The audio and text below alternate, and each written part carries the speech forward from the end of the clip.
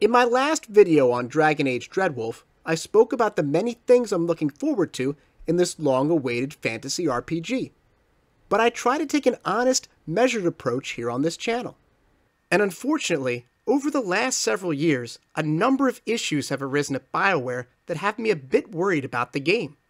So, in the interest of keeping it real, let's take a look at all the things I'm concerned about in Dragon Age Dreadwolf.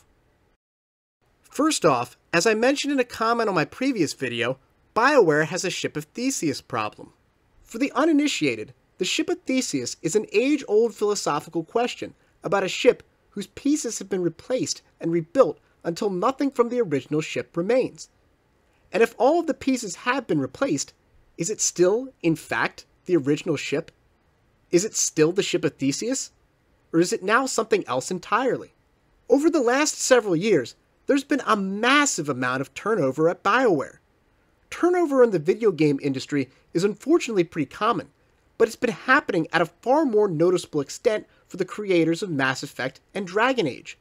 Since the release of Inquisition, BioWare has lost David Gaider, Mike Laidlaw, and Mary Kirby, who did get to work on Dreadwolf, but was laid off a few months ago. Mark Darrah left, but he did come back to help finish the game. All of this is to say that many of the people who made BioWare games what they were, and by extension, the Dragon Age franchise, are gone. So the question is without these key staff members, is BioWare still BioWare? It remains to be seen. And after 10 years worth of turnover, Dreadwolf has the unfortunate burden of having to answer this incredibly complicated question.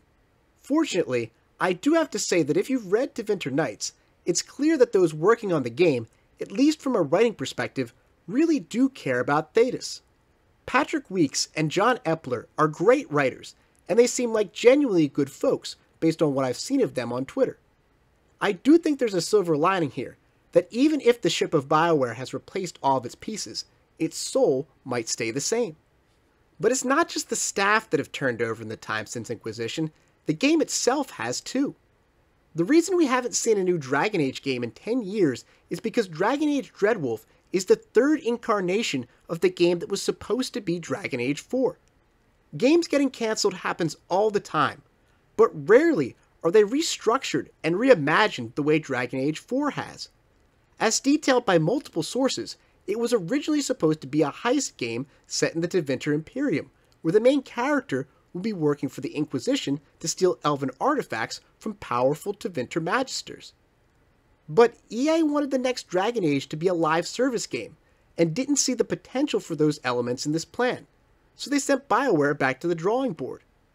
Around the time of the 2020 Game Awards teaser, it was reported that the game was going to be a straight up live service title, and looking back at that teaser, it's fairly easy to imagine how that might have worked.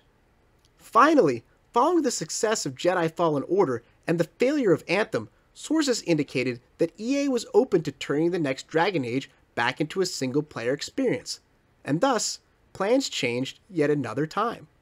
So not only has Dreadwolf been in development for the better part of a decade, it's taken the form of three entirely different games during that time.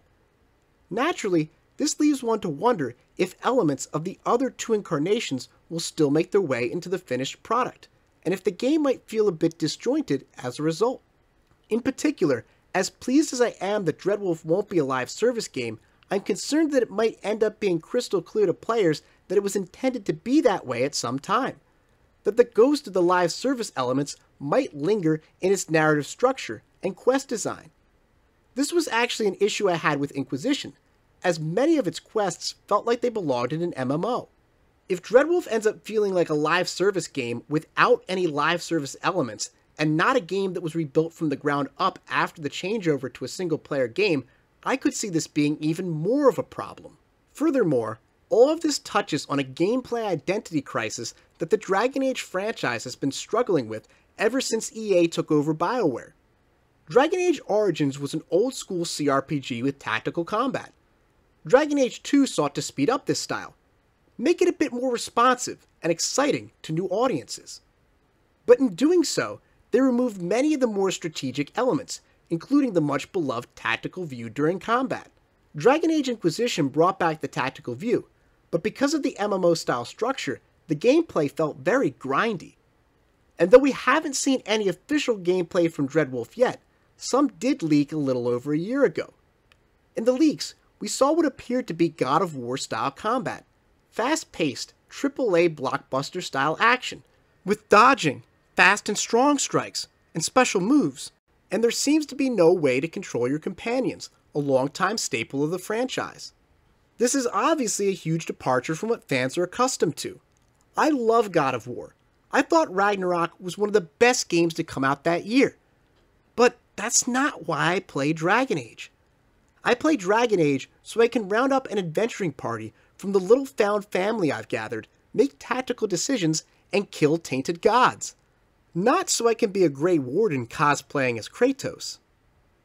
Now, to be fair, in a vacuum, I don't hate this change. I could see it being fun. If this were a brand new game series, I certainly wouldn't be complaining about it at all.